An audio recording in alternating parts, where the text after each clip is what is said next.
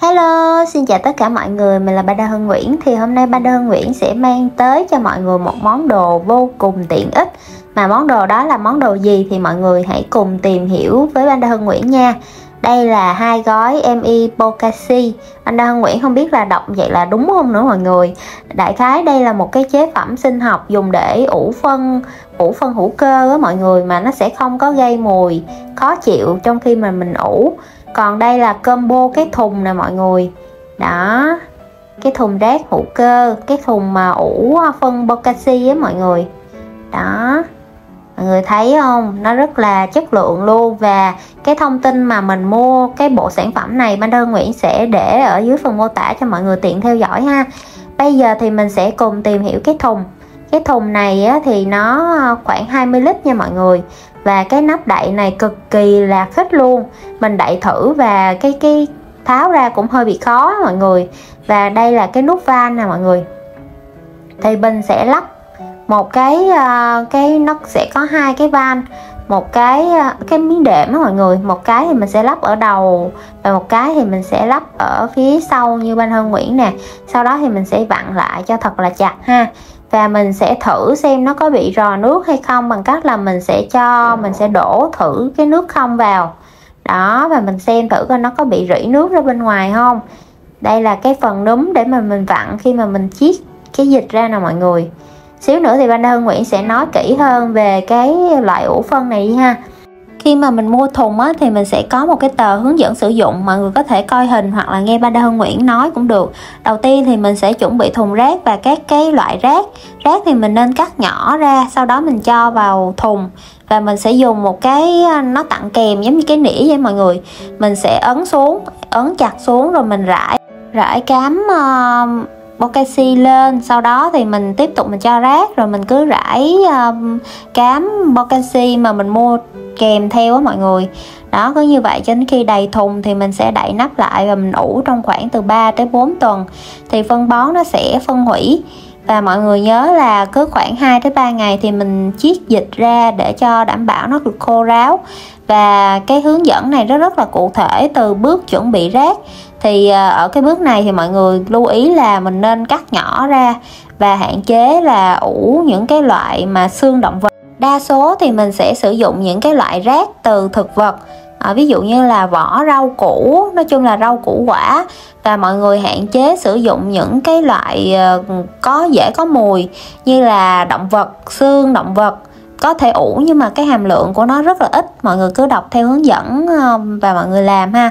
Và quan trọng là khoảng cứ khoảng 5 cm rác á, thì mọi người sẽ sẽ bỏ một muỗng bo canxi vào. Đó những cái loại nào mà nó dễ gây ra mùi thối á, thì mình sẽ bỏ nhiều cám bo canxi hơn một xíu để hạn chế cái mùi thối nó bị phân hủy và nó phát ra bên ngoài nha mọi người.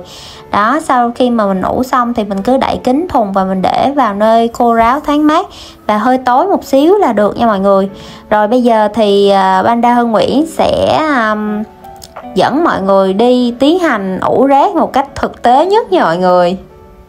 Đầu tiên thì mình sẽ dùng một cái bình phun nước và mình sẽ phun cho nó ẩm cái đáy thùng nha mọi người.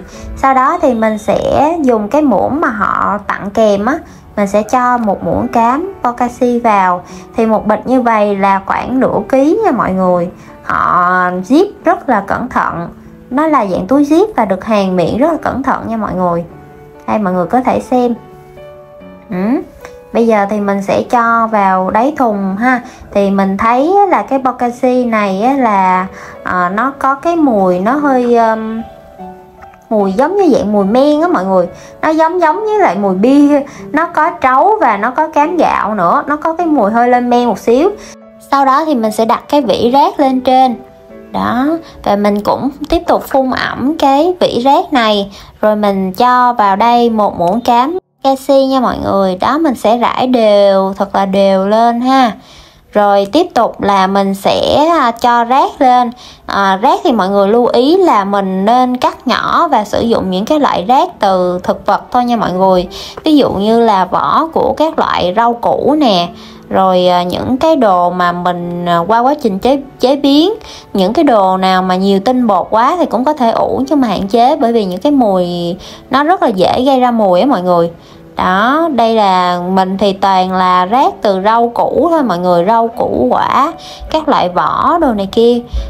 Sau khi mà mình đã cắt nhỏ rồi thì mình sẽ cho vào thùng. Mình sẽ cho đều vào thùng nha mọi người. Thì mình sẽ có các loại vỏ và mình đã trữ cái rác này cũng được hai ba ngày rồi mọi người, thì cái thùng này nó mới tới sau đó thì mình sẽ dùng một cái họ tặng kèm nhìn giống như là cái đồ để nghiền khoai tây vậy mọi người. Đó và mình sẽ nhận xuống và mình nén cho nó hơi chặt tay một xíu nha mọi người. Đó và mình cứ tiếp tục mình cho rác cho đến khi nào cái độ dày nó khoảng 5 cm đó, thì mình sẽ bắt đầu mình rải cái cám cái cái cái bột cám bokashi lên ha. Đó mọi người lưu ý là mình nên nén cho nó chặt tay một xíu. À, để cho cái quá trình à, phân hủy và ủ rác của mình nó được tốt hơn ha. Mình cứ làm như vậy cho đến khi nào mà mình bỏ hết cái lượng rác mà mình cần ủ vào đây ha. Đó, cứ 5 cm rác thì mình lại cho một muỗng cám bokashi vào. Bây giờ thì Banda Hồng Nguyễn sẽ giải thích một tí về cái cách ủ phân bokashi ha. Bokashi thật ra là một cái từ viết tắt của từ một cái à, dạng ủ phân của người Nhật thì uh, họ sẽ dùng những cái rác hữu cơ cùng với cái chế phẩm sinh học uh, đó là cái dạng vi sinh lên men đó mọi người để cho họ ủ rác. Thay vì nó sẽ ờ, ủ thành rác mục thối thì nó sẽ lên men và nó sẽ thu được hai loại đó là cái loại phân lỏng là cái dịch mà mình chiết ra khoảng 2 ngày một lần đó mọi người. Và sau một tháng thì mình sẽ thu được cái loại phân rắn. Thì phân rắn này á, thì nó đã được lên men một phần rồi mọi người. Bây giờ thì mình sẽ đậy kính nắp và mình sẽ để ở nơi khô ráo thoáng mát và hơi tối một xíu. Tại vì cái vi sinh này á, thì họ nó không có thích ánh nắng cho lắm á mọi người. Và sau đó thì ờ, khoảng vài ngày khi mà mình đã có rác thêm á, thì mình cứ làm tiếp tục như vậy, mình sẽ mở thùng ra và mình sẽ cho rác vào. Và mọi người nhớ là mình vẫn làm y như cũ nha.